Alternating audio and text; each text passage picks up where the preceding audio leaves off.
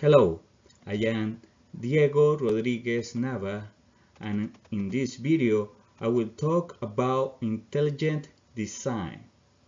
Explain why I became interested in this topic to later address a theoretical constraint using time and permutations. Intelligent design ID addresses the complexities found in nature, stating that we were designed and made. Instead of being the result of a slow process following the mechanisms of evolution such as random mutations and natural selection. Why I became interested in this topic. As a mechanical engineer, I became interested in the field of nanomachines. I realized that the most interesting functional machines were found in nature made of proteins. I had the opportunity to work on a biology project and it was required to take a class on molecular biology where a book on evolution was required. After reading chapter 4 on the origin of life and further reading on the subject, I was not happy with the lack of mathematical equations explaining the evolution processes. I learned that in biology some guidelines has been established without a satisfactory sound explanation from the field of mathematics or physics.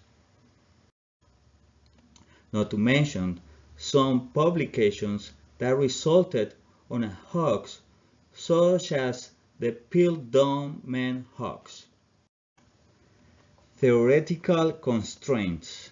In the past, or during Charles Darwin time, the universe was considered infinite, without beginning nor end, meaning that anything can happen since there is no time constraint for allowing any process to occur. Around 1930, scientists started to notice that the universe is expanding and it could be traced to one originating point. And the Big Bang theory was born. It is estimated that the age of the universe is 13.7 billion years. It is estimated that the Earth is 4.54 billion years old. A protein is a chain of amino acids and proteins are essential part of living organisms. Proteins are composed of a variety of amino acids and these are chosen from a pool of 20 amino acids. If a protein is composed of 300 amino acids, then using permutations, we can say that the 300 amino acids can be combined in many different ways. The number of amino acids that can be selected, 20, raised to the number of amino acids in the protein sequence, which represents the total number of possible combinations of this. So we select 20 amino acids from this list. They are represented here. And then we build the chain, which is represented here. And in this case, the length of this chain is composed of 300 amino acids. Let's further explain with permutations using a simple protein composed of two amino acids and later uh, a protein composed of three amino acids. So for, for one protein composed of two amino acids, let's say that we only have two amino acids to choose from. So we have the histidine here in red and the isoleucine in green. So then if we do the math, then we say that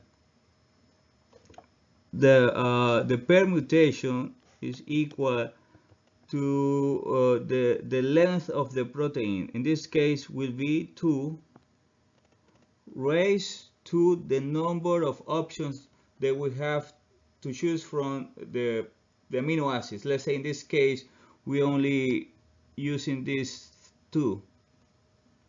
So it says it's a smaller pool of options from amino acids. So we have 2 to the 2 and this equal to 4. So meaning that we can have these four options. We, we can have red selected first, then red, then we can have red and green, then red, uh, green and red. So and green and green. So those are the four options for this chain of only two amino acids.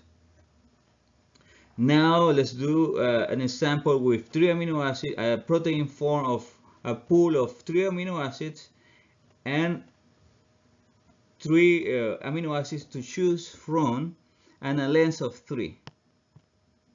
So now we have uh, uh the leucine the isoleucine and the histidine. So this is what we have. We we have. Let's calculate the probabilities first for that. The permutation. Sorry. So we have the the length of the uh, protein is three three amino acids, and also we can select three amino acids to choose from. We can we can choose from these three only. So then is raised to the three, meaning that we have 27 options to build this uh, protein. So let's let's let's let's write some some of the options. So let's say we have uh, this